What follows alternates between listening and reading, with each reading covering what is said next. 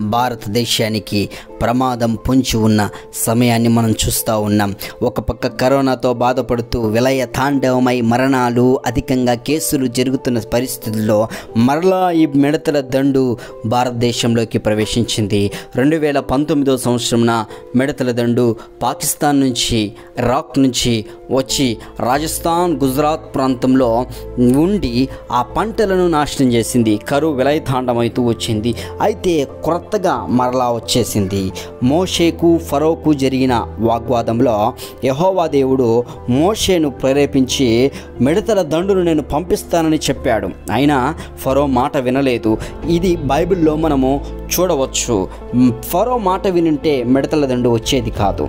అయితే బైబిల్లో నిర్గమాకాండం పదో అధ్యాయము పద్నాలుగు వచ్చినం ఆ మిడతలు ఐగుప్తు దేశమంతటి మీదికి వచ్చి ఐగుప్తు సమస్త ప్రాంతంలో నిలిచెను. అవి మిక్కిలి బాధకరమైనవి. అంతకు మునుపు అట్టి మిడతలు ఇప్పుడు ఉండలేదు. తరువాత అట్టివి ఉండబోవు. అవి నేలంతయు కప్పెను. ఆ దేశము చీకటి కమ్మెను. ఆ దేశపు కూరగాయలన్నిటిని ఆ వడగండ్లు పాడు చేయని వృక్షములన్నిటిని అవి తినివేసెను. ఐగుప్తు దేశమంట చెట్లే కానీ పొలములే కూరే కానీ పచ్చని దేదియు మిగల్చలేదు. మిగల్చకుండా పంటను నాశనం చేస్తుంది రెండు వేల పంతొమ్మిదవ సంవత్సరంలో పంటను నాశనం చేశాయి. ఇప్పుడు క్రొత్తగా శనివారమున ఇరవై ఐదు మే తారీఖున శనివారమున ఉత్తరప్రదేశ్ మీదకి భయంకరమైన సమూహం వచ్చేసిందండి. భయంకరమైన సమూహం వచ్చి కలవరపెట్టి ఉత్తరప్రదేశ్లో ఝాన్సీ శివారులో ఏకంగా మూడు కిలోమీటర్ల మేర మేర మిడతల దండు కనిపించిందంట. ఎంత ఎక్కువగా వచ్చిందో చూడండి ఒకసారి. చివరి దినాల్లో ఉంటున్న పరిస్థితులు మనము.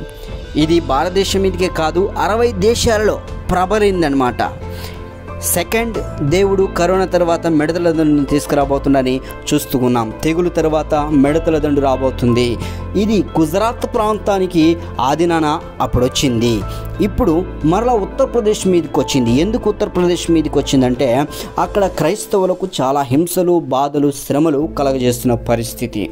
అయితే దేవుడు తన పిల్లలను కాపాడుకోవడానికి దేవుడు తీసుకొచ్చిన విపత్తు అని మనం తెలుసుకోవచ్చు. ఇక ముందు టీవీ ఛానల్స్ వారు న్యూస్ రిపోర్టర్స్ వారు చెప్తున్న ప్రకారం ముందున్నది మిడతల సవాల్ అని చెప్తున్నారు. రాబోయే పరిస్థితులు చూస్తే మిడతల దండు రాబోతుంది. ఇప్పటికైనా యస్సు క్రీస్తు ప్రభువారు ప్రేమిస్తున్నాడు.